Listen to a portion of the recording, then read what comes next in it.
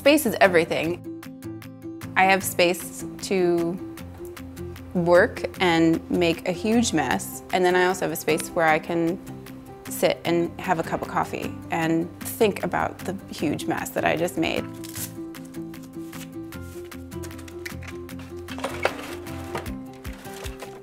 My name is Erin Jesson. I'm from Michigan and I'm a second year MFA student in the sculpture program. The program is pretty intense, so you tend to bond really quickly with your fellow students. All the MFA students are on the third floor of the 808 building. It really builds this sense of community beyond the program. My favorite thing about the studios is the 24-hour access.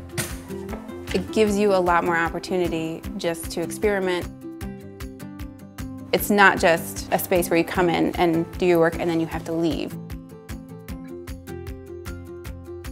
We get studio visits with our professors. I've never met more people who are so devoted to art, to learning about art. The things that come up, it's always unexpected, the things that they will see that I'd never see. There's the work, there the things that you make. Mm -hmm. It seems like really important to think about their situation within the space as a means of acknowledging in a way, not just the physical space, but also the really kind of social space of the show itself. I'm so glad I'm here. It's probably one of the hardest things I've ever done, but it's changed how I think about the world, it's changed how I think about myself in the world.